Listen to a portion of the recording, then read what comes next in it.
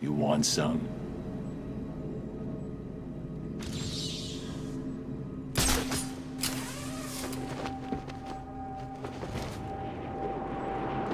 We own Arkham City. Screw anyone else who thinks they do.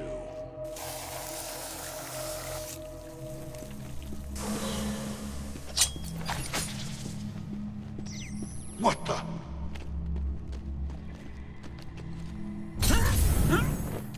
What?